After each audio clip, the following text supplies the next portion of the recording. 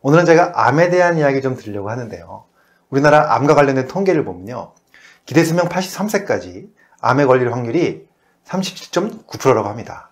남자로 따지면요. 남자 80세가 되면 5명 중 2명이 암을 경험한다고 하고요. 여자 같은 경우는 87세가 되면 3명 중 1명이 암을 경험한다고 합니다. 이렇게 우리가 죽기 전까지 한국인 3명 중에 1명이 암에 걸린다는 통계가 있는데요. 사실 이 암이라는 것은 우리가 조기에 발견만 하면은 극복할 수 있는 병이라고 생각합니다. 그래서 오늘은 제가 가장 많이 걸리는 암 다섯 가지를 말씀을 드리고요. 그와 함께 이것을 우리가 어떻게 하면 조기 발견할 수 있는지, 어떤 하면은 어떤 검진을 해야 되는지, 또 국가에서 해주는 검진 이외에 추가로 어떤 검진을 추가로 해야 되는지 여기에 대한 말씀을 좀 드려보도록 하겠습니다.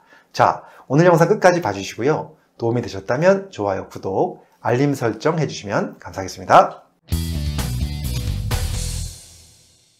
고마우신 구독자님들 오늘도 클릭해 주셔서 정말 감사합니다. 우리나라에서 많이 걸리는 10대 암을 보면요.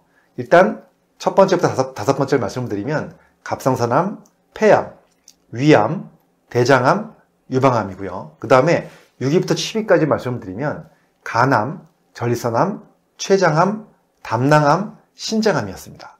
자, 이 중에서 1위부터 5위까지 암 5가지에 대해서 우리가 어떤 검진을 해야 되는지 좀 말씀을 드려보도록 하겠습니다. 첫 번째로 말씀드릴 것은 바로 갑상선암인데요. 사실 굉장히 많은 분들이 갑상선암을 진단받고 있습니다. 그런데 이 갑상선암은 조기 진단만 된다면 거의 100% 완치가 되는 경우가 많죠. 그래서 조기 진단이 굉장히 중요하죠. 자, 이 갑상선에 대한 검사를 해보셨을 겁니다. 이제 혈액 검사를 통해서 호르몬 검사를 해보고 해보셨을 텐데, 갑상선 암을 진단하는 데는 혈액 검사는 물론 기능을 보는 데 좋지만요. 암을 진단하는 데는 혈액 검사가 큰 도움이 되지 않습니다. 그럼 무엇이 좋을까요? 바로 가장 좋은 검사는 초음파 검사입니다. 갑상선은 워낙 이 목 부위에 표면에 나와 있는 예, 그러한 조직이기 때문에 초음파를 굉장히 잘 보입니다. 그래서 초음파를 어, 정기적으로 검사함으로써 조기 진단할 수 있는 것이 바로 갑상선 암이라는 것이고요. 어, 초음파를 보면요, 굉장히 작은 결절들도 찾아낼 수가 있습니다. 그래서 그것들을 미리미리 확인하고 또 결절이 있다면 사이즈가 크지 않다면 그것이 크는지 추적 관찰을 하면서 주기적으로 보면서 이것을 미리미리 진단하는 것 매우 중요하다. 첫 번째로 갑상선암 말씀을 드렸고요. 그 다음 두 번째로 말씀드릴 것은 바로 폐암인데요. 우리가 1년에 한 번씩 정기검진을 하죠. 국가에서 해주는 검진이 있고요. 그때 우리가 꼭 하는 것이 바로 흉부 엑스레이입니다. 이것이 바로 뭐 폐암이라든가 또는 뭐 여러 가지 폐질환, 또 폐결핵 이런 것들을 확인하기 위해서 검사를 하는데요. 흉부 엑스레이만으로도 폐암의 굉장히 많은 부분을 미리 진단할 수가 있습니다. 하지만 100%는 아닙니다.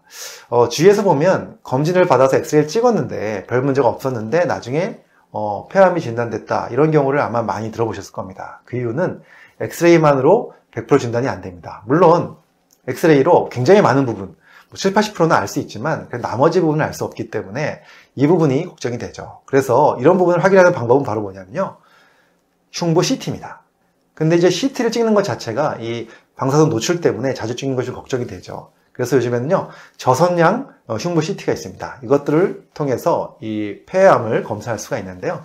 그래서 이제 모든 분들이 다 찍어야 되는 건 아니지만, 고위험군이 있잖아요. 예를 들어서 뭐 담배를 평상시에 많이 피시던 분이라든가, 또는 이제 음식을 많이 해가지고 음식 탄 냄새를 많이 맡은 분들, 여성분들이 그렇게 돼서 이제 폐암이 오는 경우가 많기 때문에, 그렇게 고위험군인 경우에는요, 어, 엑스레이만 찍지 마시고 한 번 정도는 어, 흉부 CT를 한번 찍어보는 것도 도움이 될 것 같다. 그리고 또 주기적으로 몇 년에 한 번 정도 체크해보는 것도 큰 도움이 될 것 같습니다. 그 다음에 세 번째 위암과 네 번째 대장암을 한꺼번에 말씀드리려고 합니다. 사실 위암과 대장암을 진단하는 가장 좋은 방법은 역시 여러분 다 아시는 것처럼 내시경 검사입니다. 그래서 요즘에는 위내시경, 대장내시경을 하루에 하는 경우도 많죠. 저도 주기적으로 한꺼번에 하루에 날 잡아서 하고 있는데요. 내시경을 통해서 위암과 대장암은 미리미리 발견하는 아주 좋은 방법이 될 것이다 말씀을 드립니다. 물론 내시경 검사를 어, 주기적으로 어떤 분들이 해야 되느냐 여기에 대해서 이제 어, 증상이 있거나 당연히 해야 되고요. 증상이 없더라도 어, 위에 대한 검사, 대장에 대한 검사는 중년 이후에 한 번씩 해보시면 큰 도움이 되고요. 그리고 또 용종이 만약에 있다면 이 검사 간격을 좀 더 줄여야 됩니다. 그래서 만약에 대장에 용종이 있어서 그것을 뭐 떼어내고 선종 같은 게 있어서 떼어냈다 한다면 그것이 또 생길 수 확률이 높기 때문에 뭐 1년 내지 2년마다 한 번씩 대장 내시경을 권장하고 있고요. 그렇지 않다면 뭐 5년마다 하는 경우도 있죠. 또 가족력도 중요하죠. 그래서 뭐 대장 같은 경우는 특히나 가족력이 굉장히 중요한 질환입니다. 그래서 가족력이 있는 경우에는 반드시 좀 미리미리 체크하는 것 중요합니다. 제가 사실 이 대장 내시경 검사에 대해서 한번 자세하게 어느 주기로 해야 되는지, 어떤 분은 더 빨리 해야 되는지 여기에 대해서 올려놓은 영상이 있으니까 그 영상 한번 꼭 보시면 도움이 되실 것 같습니다. 자, 마지막 다섯 번째는 바로 뭐냐면 유방암입니다. 사실 여성암 중에서는 1위를 차지하고 있고요.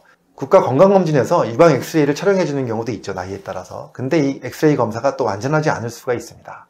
왜 그러냐면 이 동양인들은 치밀 유방이 많은데요. 이 치밀 유방이 뭐냐면 그 유선 조직이 양이 이제 많고 촘촘해 가지고 엑스선이 투과하기가 어렵기 때문에 뭐 암이라든가 이런 양성 조경을 구분하기가 어려운 경우가 있습니다. 이런 경우에 보완해서 할 수 있는 검사가 있습니다. 그것은 바로 유방 초음파 검사입니다.